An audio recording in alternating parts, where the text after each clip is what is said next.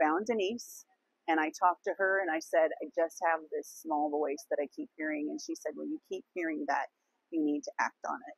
And her words to me were, The world needs what you have to offer. I have been inspired by Denise to actually get my story on paper and write a book.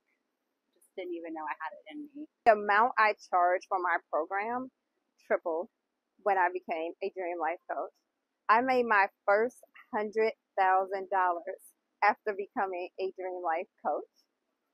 And not only were my finances impacted, I was impacted. I just knew that I needed to take the opportunity to become certified so that I could be the best life coach for myself and for other people.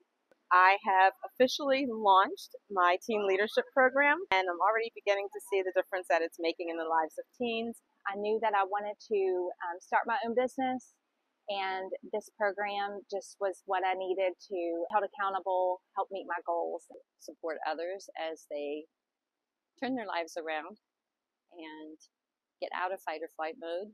To search it and investigate it and see what it was and where that path was going to lead me and be obedient to God. And I have never looked back since. It truly impacted not just me, but so many others.